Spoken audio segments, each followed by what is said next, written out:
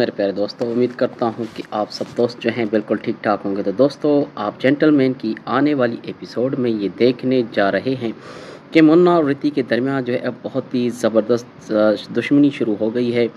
اور ان دونوں کے درمیان دشمنی جو ہے وہ کیسے شروع ہوئی ہے؟ تو کیونکہ رتی کو تو جھرنا بہت ہی پسند آنے لگا تھا، لیکن منا کو بھی جھرنا بہت پسند آنے لگی تھی۔ ایسا لگتا ہے کہ جب دونوں کو یہ معلوم ہوا کہ ہم دونوں کو صرف جو ہے وہی پسند ہے، تو پھر وہ اس کے لیے کچھ بھی کر سکتے ہیں۔ لیکن جو منا ہے وہ اس کے لیے جان بھی دے سکتا ہے۔ تو دوستو، آج کی ویڈیو میں ہم بات کرنے والے ہیں جینٹل مین ڈرامے کی۔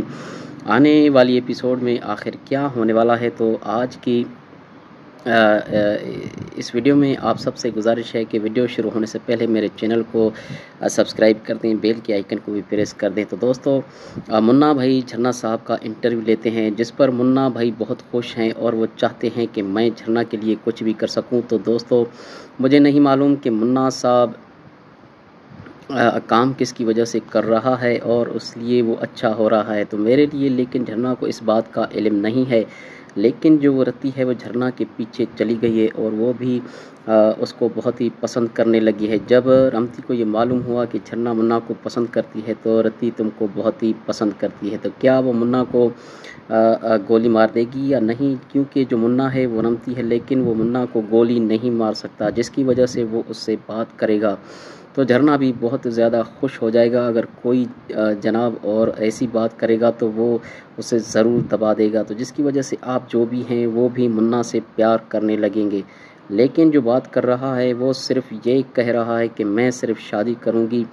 تو جناب، وہ آپ کی بھابھی ہے۔ منا جب وہ اس طرح کی باتیں کرتی ہے، تو منا کو بہت زیادہ جو ہے وہ غصہ آ جاتا ہے اور رحمتی کو یہ سمجھاتا ہے کہ تم جیسی بھی ہو جھرنے سے دور رہو، بہتر ہے۔ جھرن جو بھی ہے وہ میرا ہے۔ میں اس سے بہت زیادہ پیار کرتا ہوں اور میں ہی اس سے شادی کروں گا، جس کی وجہ سے ان کی درمیان بہت زیادہ دشمنی ہو جاتی ہے اور وہ دونوں ایک دوسرے سے بہت زیادہ لڑنے لگتے ہیں۔ تو وہ آپس میں بہت زیادہ پریشان ہو جاتے ہیں، لیکن جو منا ہے، اب وہ بہت خوش ہوگا کیونکہ وہ کہانی آپ کو خوش کر دے گی۔ تو میرے پیارے دوستو، یہ آپ کو آنے والی ایپیسوڈ میں ضرور پتہ چل جائے گا۔ کہ یہ ڈرامہ سیریل آپ کو کیسا لگتا ہے؟ اگر آپ کو اچھا لگتا ہے کہ آپ میری جو آپ کی رائے ہے، وہ اس کمنٹ سیکشن میں ضرور دیجیے گا اور میں انتظار کروں گا۔ اور جاتے جاتے ویڈیو کو لائک کریں، شیئر کریں اور ملتے ہیں کسی اگلی ایپیسوڈ میں۔ تب تک کے لیے اللہ حافظ۔